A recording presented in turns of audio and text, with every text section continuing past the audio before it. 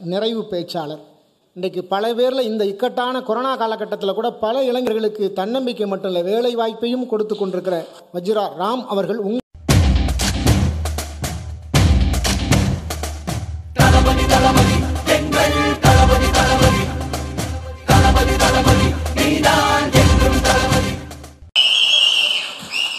நடுவர் அவர்களே எதிரணியில் இருக்கக்கூடிய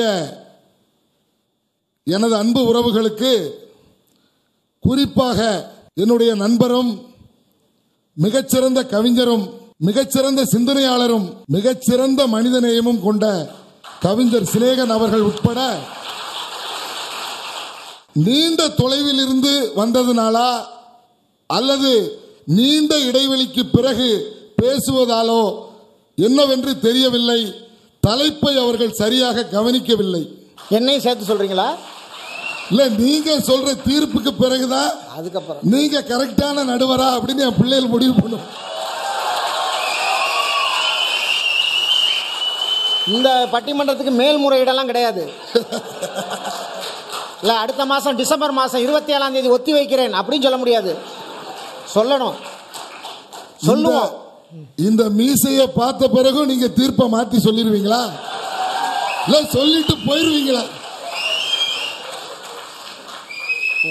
அப்படியெல்லாம் மிரட்டவில்லை நடுவர் அவர்களே. இல்லைங்களா உண்மையில இதுதான் மிரட்டுறது.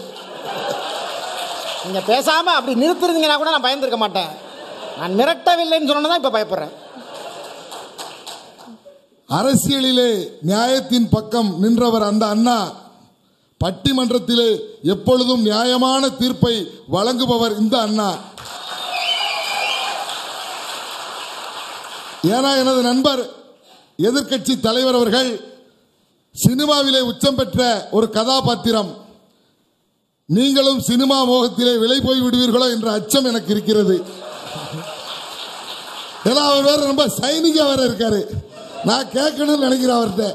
நானும் என்னென்னமோ போட்டு பார்க்குறேன். ஆனா சினிமாக்காரங்களுக்கு இருக்கிற சைனிக்கு நம்ம பயவில்லைக்கு வர மாட்டேங்குது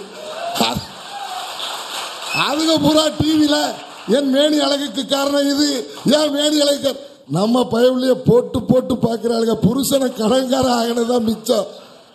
கலர் ஆகல. ஆனா அந்த முயற்சியை நானும் பண்ணி பார்த்தேன். நாம ரெண்டு பேருமே. ஏழே வாரத்தில் சிகப்பழகுனாங்க. அது கடந்து போயிடுச்சு எழுநூறு வாரங்கள்.